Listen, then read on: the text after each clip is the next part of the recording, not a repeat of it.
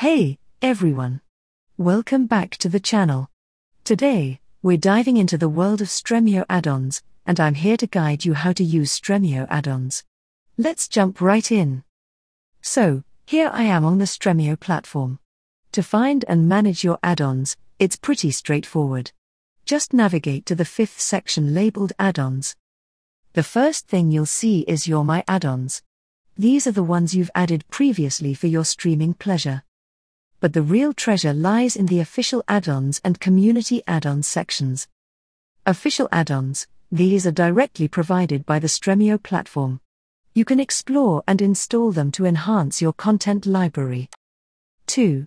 Community add ons. Here, you'll find third party add ons created by the Stremio community.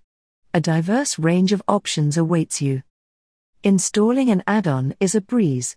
Simply click on the Install button next to the add on you want. It's that easy. If you have a specific add on in mind, use the search bar to find it quickly. Your add ons will be neatly displayed on this board, making it easy to locate and install the one you need. And there you have it. Navigating and using Stremio add ons is a simple yet powerful way to elevate your streaming experience. I hope this tutorial was helpful. If you enjoyed it, don't forget to hit the like button, and if you want more Stremio tips and tricks, subscribe for future content. Thanks for tuning in, and happy streaming with Stremio.